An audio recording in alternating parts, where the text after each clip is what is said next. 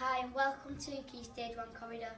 Here we have Year 2 Blue where Miss Simmons teaches. On this display here we have Year Receptions, exciting writing that they've been learning about. This is receptions, both reception classes in that room. We have the Twix display that some classes have been doing. This is where some children come and they come here to sit down and do the reading and the times tables. Over here we have our tree of kind thoughts, what, what our children have written hung on this tree. Here and here we have little hangers that tell us the months and what weather it's going to be like during that month. Here is year two green, the other year two, where Miss Brown teaches.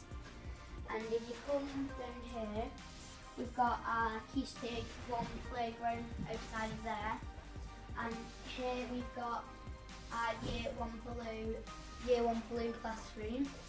Over here is an area where children can come outside and work with their teacher. And this is year one green.